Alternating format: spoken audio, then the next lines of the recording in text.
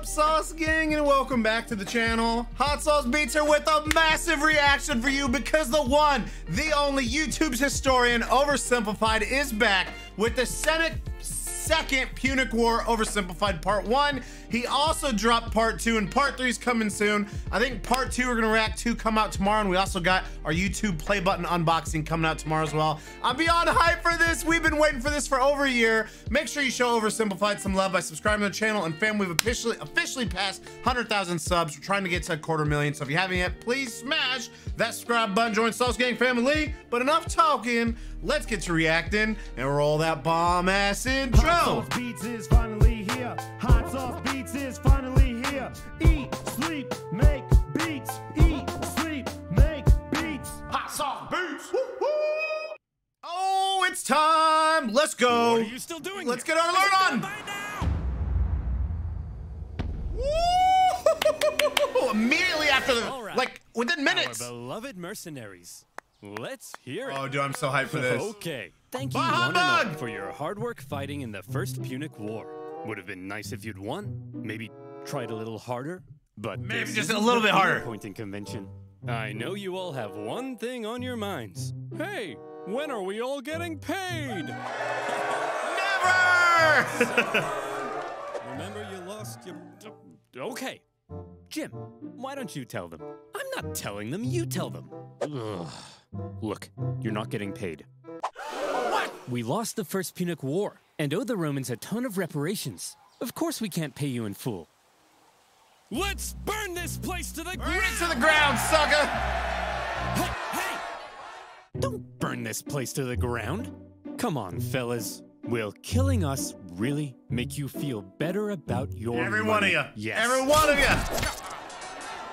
Oh, oh Way to go, to him real quick. Shut up, Jim. You're fired. I guess that makes two of us. Huh?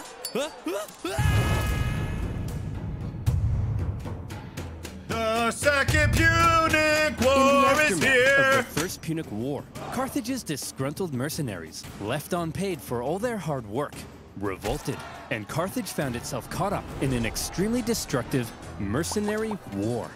The panicked Carthaginians hired more mercenaries to fight the mercenaries they couldn't afford to pay, and Carthage came dangerously close to collapse. All the while, across the water, there was Rome. Ha! Look at those morons. We just kicked their ass in the first Punic War, and now their own mercenaries are revolting. Haha. yeah. Wait, first Punic War? You mean there's gonna be a second one? Well, we're definitely taking advantage of this situation. So almost certainly, yes. The Romans did, in fact, take advantage of the situation. Suckers, Amongst the suckers. chaos, rebels on the Carthaginian island of Sardinia sent out a cry for help to Rome. Hot diggity dog, said the Romans. Hot That's free diggity, real estate. diggity, And diggity so dog. in they went. Whoa, whoa, whoa. That's our island. Get the hell off. Hey, they requested our help. We're simply helping. Oh, no, you don't. Look, we're sending our own army to deal with the rebels, okay? Just to be clear, we're not trying to start a fight with you, so. You know, don't declare war on us or anything. War! we surrender! Great. And as War. part of the peace treaty, we get to keep these islands. The Carthaginians ah, were Humbug. hopping mad. As if their humiliating loss in the First Punic War wasn't bad enough, the Romans now took advantage of their mercenary problem and stole their islands. This shocking land grab was pretty hard to justify, even by Roman standards. Additionally, the Romans now demanded Carthage pay them even more money on top of what was already owed. Bruh. If Rome was trying to make Carthage as mad as possible, they were doing a fantastic job. The seeds of the Second Punic War were being sown, and they were being watered with Carthaginian tears. Resentment in Carthage only continued to grow. Eventually, Carthage solved their mercenary problem thanks to Carthaginian military genius and hero of the First Punic War, Hannibal? Hamilcar Barca. Hamilcar. He sorted Oh, those naughty mercenaries out with some good old-fashioned atrocities, and the destructive mercenary war was over. Still, all was not well in Carthage. Mere decades ago, they were the top dogs in the Western Mediterranean. Now, after the crushing defeat in the First Punic War and a huge bill How to do pay they the even have soldiers left, Carthage chat? was well and truly under Rome's thumb. what on earth were they supposed to do? If they wanted any chance at regaining their former strength, there was one thing they needed now, more than anything money. But as long as they owed Rome a bazillion dollars, there was nothing they A could do. bazillion's a lot, chat. Fortunately for them, amongst their ranks, there was one big hunk of a man with one big clump of a brain. Me, Hamilcar Barca. Hamilcar? Wait, why do you all have the exact same voice? Ah, I have it too. That's right. Hero of the First Punic War, greatest general alive, and the poster above my bed. Hamilcar Barca had an idea. All right, we need money. I look at him well, every I've night. One word for you Spain. An area filled with lucrative silver mines, from which the silver would flow like a river, and our pockets would be stuffed, like Tony's mother at a buffet. Hey! So here's my proposal. You send Pause. me with an army to Spain. I'll expand our territory, get those silver mines up and running, and we'll be able to pay the Romans back in no time. Okay. But just to check, you're not secretly raising the money to go on a bloodthirsty revenge spree against Rome, are you? Because we can't afford that. Hanno, my dear, I'm simply going to pay them back. Dun That dun was dun. Few in Carthage were as bitter about their loss in the First Punic War as Hamilcar Barca. 98% of his brain matter had been reallocated to thoughts of revenge. He was also fed up with the Carthaginian Jeez. politicians So violent. for what he deemed a cowardly Bro! They're playing Catan! They're playing Catan! betrayal when they surrendered at the end of the last war. And so for Hamilcar, going to Spain meant being able to act independently from the weak Carthaginian government, building his own strength, and then perhaps somewhere down the line, revenge. Burn him However, to the he wasn't going to Spain by himself. Hannibal? Yes, father? Would you like to come with me to build an empire in Spain? Oh boy, would I! Barbara, oh, Boy, mind if I take our nine-year-old son with me? I want to implant an intense hatred of Rome in him and prepare him for a glorious campaign of vengeance. Just try not to traumatize him, dear. No promises. The young boy Hannibal would accompany his father, watching, learning. Boy, you see that city over there? Yes, father? That is Rome. Do you know what we do to Romans? No, father. We hate them, Hannibal. We hate them with every fiber of our being. But why, father? Every Can't atom of our play with my body. No, son. They took everything from us. Our land, our wealth, our pride. Those animals. Yeah. I'll tear them Feel that hatred. I'll burn their pathetic city to the ground. Dad? I'm sorry, son. I've, I've just never been so proud. Keep going. I'll slaughter their people. I'll cut off their faces and wear them as masks. I love you, son. After taking Hannibal to the Temple of Baal and having him swear an oath never to be a friend of Rome, off dad and son went for their lovely beach holiday in Spain. But Spain Beach was holiday. already inhabited by many tribespeople. And when Hamilcar suddenly showed up in their territory, they were like, Hey, who the hell are you? What are you doing here? I'm teaching my son how to become a warrior like me. Aw, well, that's sweet. Well then, little guy, let's see what you got. Good boy.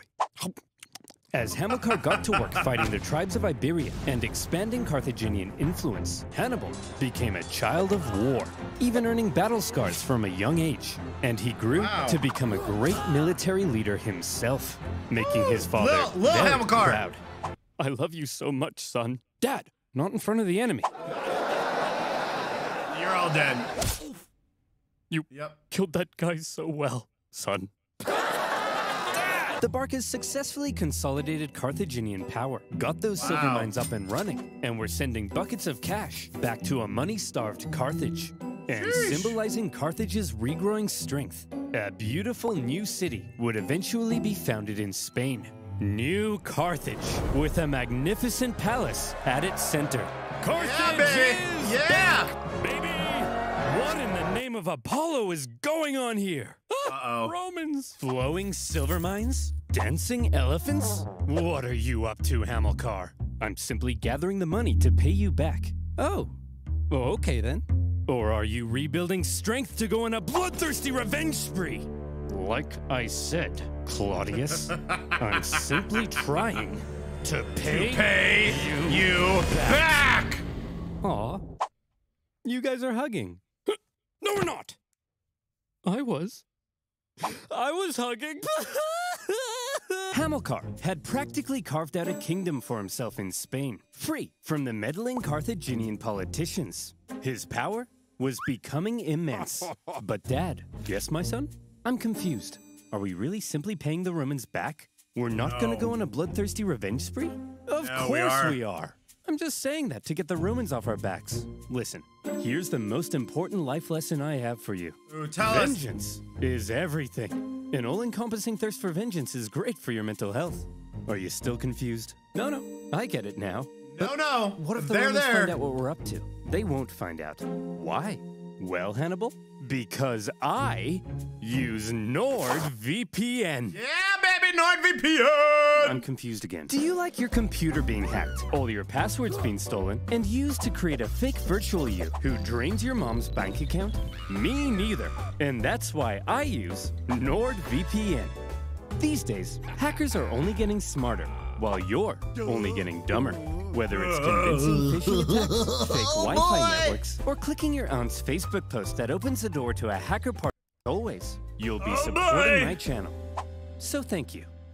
Now, where were we? Oh, yeah. Carthaginian tears, a child of war, and the Carthaginian conquest of Spain.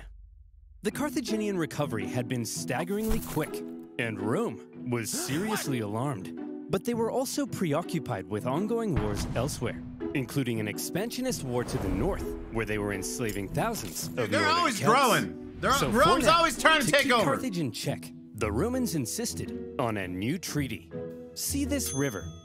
The two sides agreed that everything above it was in Rome's sphere of influence, while beneath it was Carthage. Under no circumstances were the Carthaginians to expand north of that river. But for Very now, illegal. Hamilcar and son were living it up. Well, son, here's to many more years of successful campaigning in Spain. Now, if you'll excuse me, I just have to go fight those guys. See you later, son. I love you.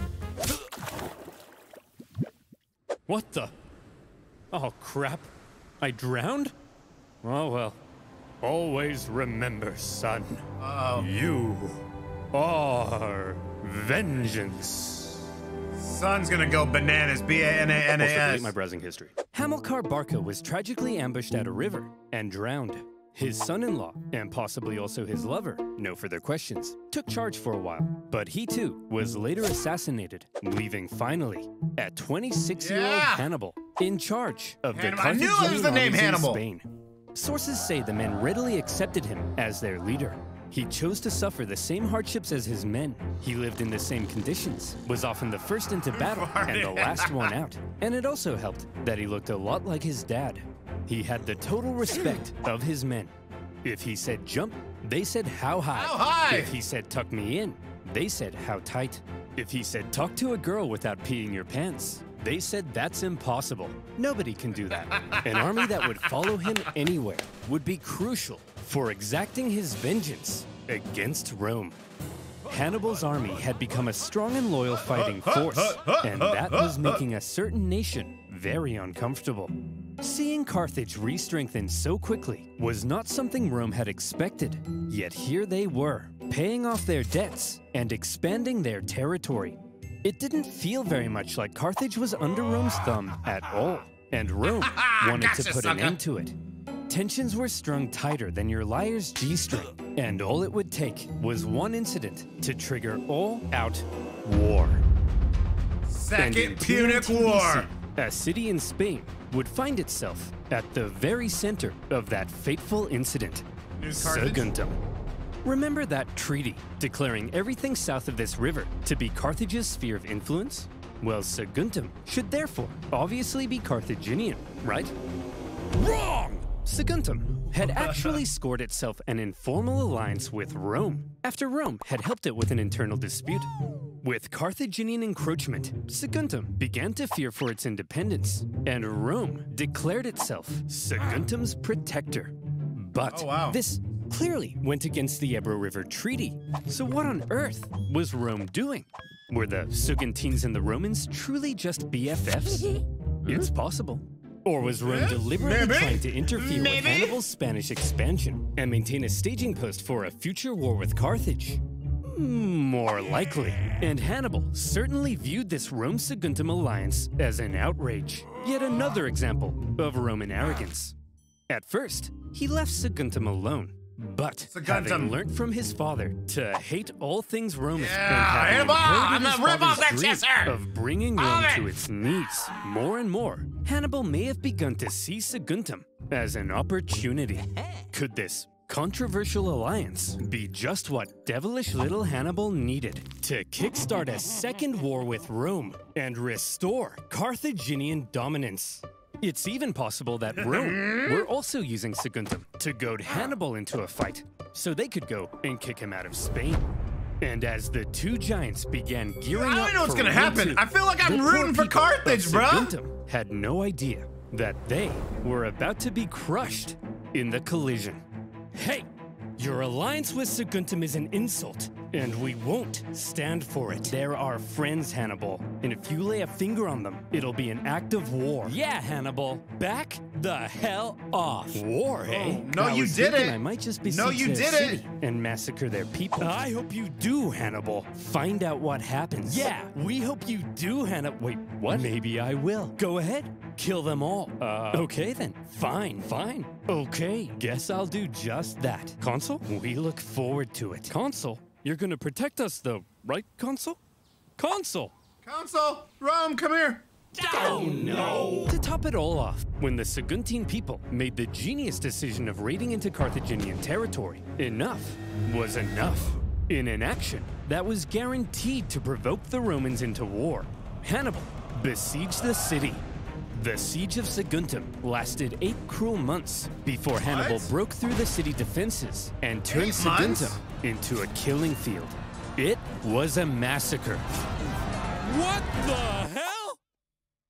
Tell me I didn't just catch you massacring our friends, the Sugantese. Well, Consul, if you like the Sugantese so much, perhaps you should sug on these nuts. Yeah, these nuts.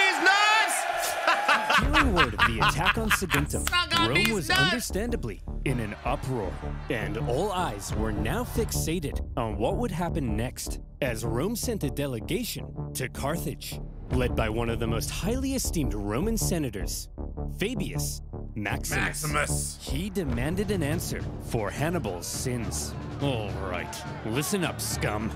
You've got a rogue general in Spain attacking a Roman ally. What are we supposed to do about it? Well, there shouldn't have even been a Roman ally in Spain. You're the aggressor here. Hand Hannibal over to us as a criminal so we can punish him severely. No, yes, no, no. Look, I hold in the folds of my toga both peace and war. Which one should I let drop? Whichever one you want. Then I choose.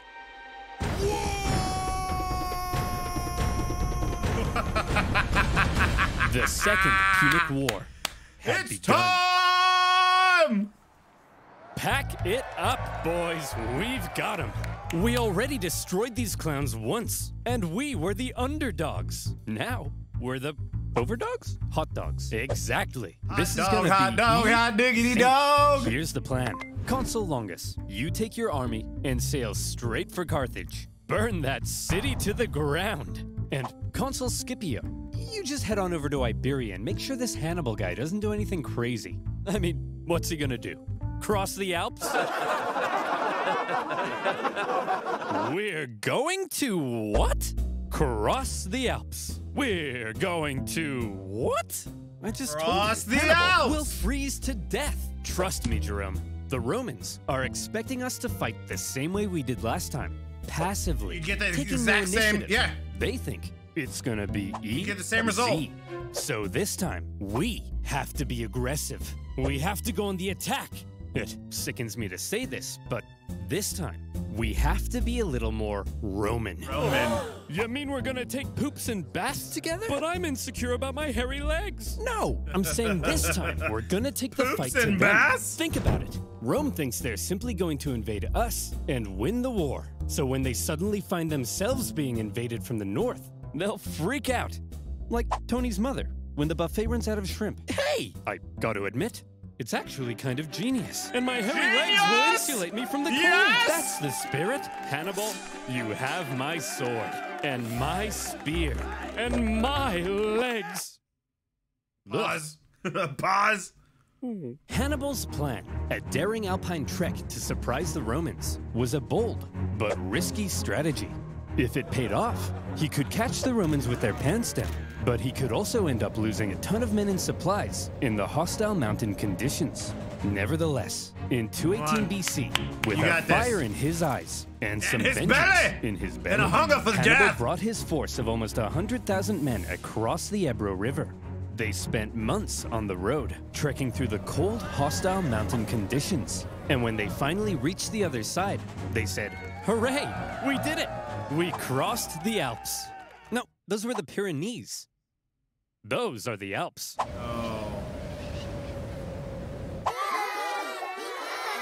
After crossing the Pyrenees, the army then had to pass through southern Gaul, a vast territory filled with tribespeople, many of whom were hostile to Hannibal's presence. His journey to the Alps was an ordeal in itself, as he was forced to Oh, wow. fight his way through and incurred pretty hefty losses before even reaching the mountains. His plan was almost stopped in its tracks entirely, as the Roman consul Scipio, on his way to Iberia, discovered Hannibal was right on his doorstep. Oh, no, no, Suddenly, no, no. Hannibal's journey became a race as he rushed to get his massive army across the vast Rhone River before the Romans could intercept him.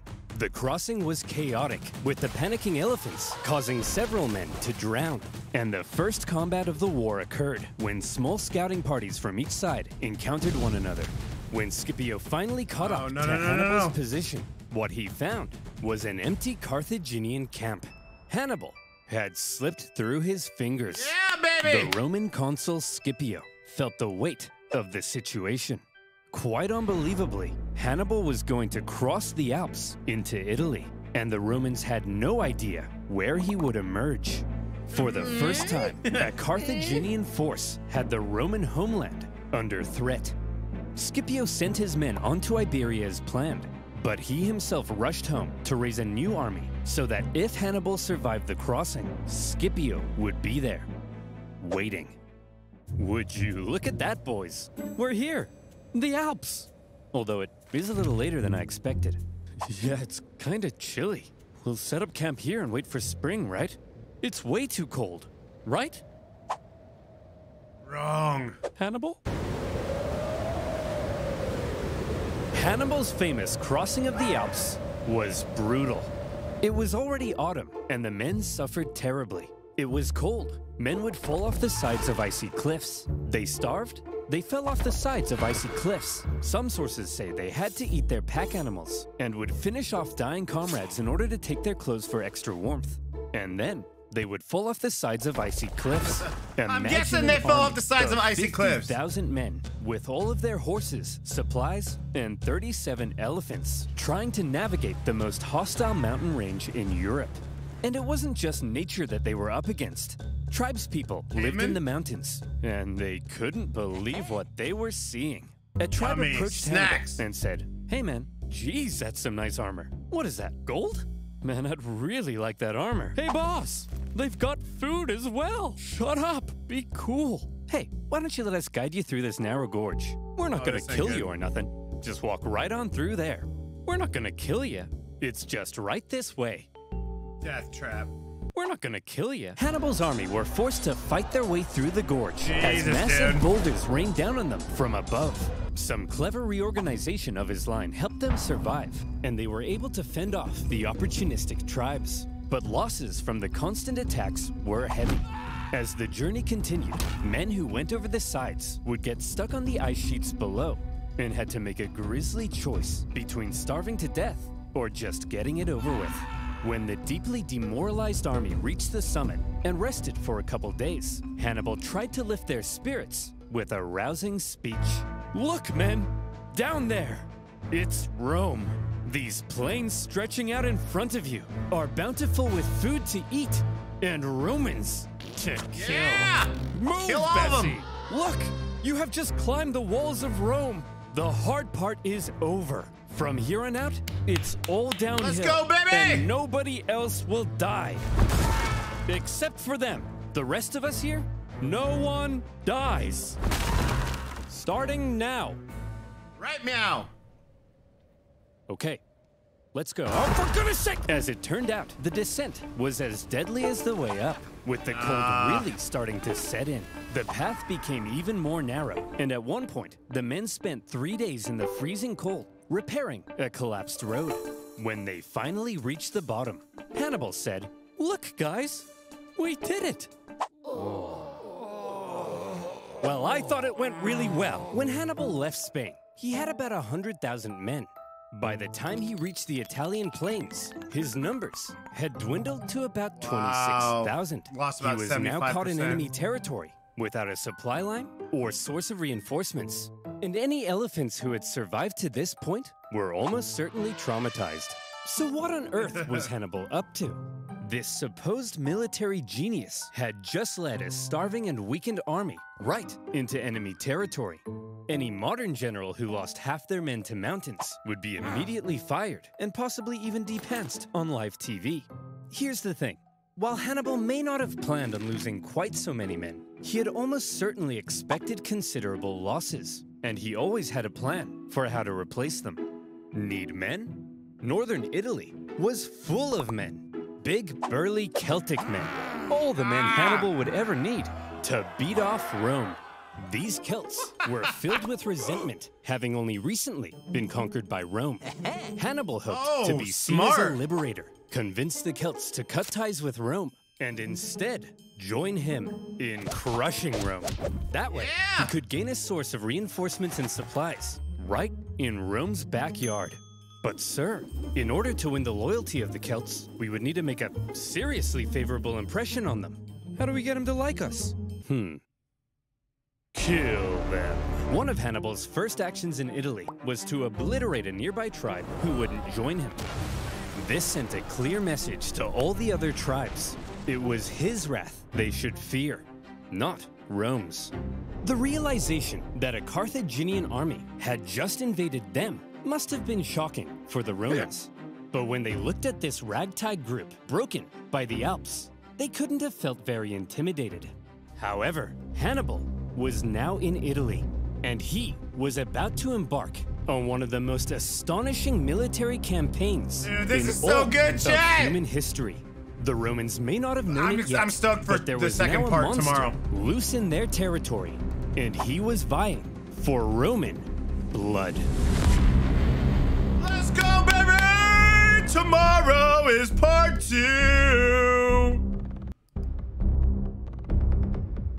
let me bring you in chat. Bruh! Welcome back, Oversimplified. This was absolutely amazing, dude. I cannot wait for part two. Again, he's just like the best storyteller. I mean, most people, you guys have let me know in school, they show oversimplified videos. Like, teachers are using his videos to teach their students. It's amazing. And now we're cheering for Carthage. Hannibal's a, an amazing dude. Such a good leader. I'm so stoked to see what happens in part two. And again, there's a part three coming out as well. Let me know what you guys think. This was an absolute blast reacting to this. Make sure you show Oversimplified some love by subscribing to their channel. And fam, if you have not yet, please smash that subscribe button. Join Sauce Gang family. Enjoy the rest of your weekend. And remember, it's eat, sleep, and make beats. And as usual, be kind of another. That's all I got. Boom, I'm out. Gotta be love. Sauce Gang. Peace out, champ.